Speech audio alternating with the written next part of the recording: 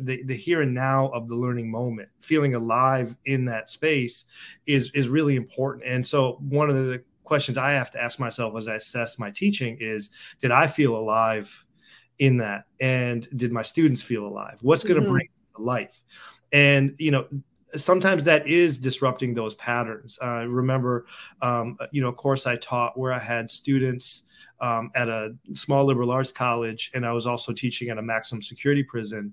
And uh, we would spend some of our time just in, in correspondence with one another. So I would I would share peer reviewed pieces, and I remember the eagerness when I would walk in the classroom on the days that they knew I had the letters, um, both classrooms, right? Yeah, both yeah. And at the liberal arts college, you know, they would just be staring at my bag, and I knew they weren't there for me. Uh-uh. there for what was going to bring them to life in that moment. Yeah. And so, you know, that's what I think is important to pay attention to if we want them to see what is really possible from an education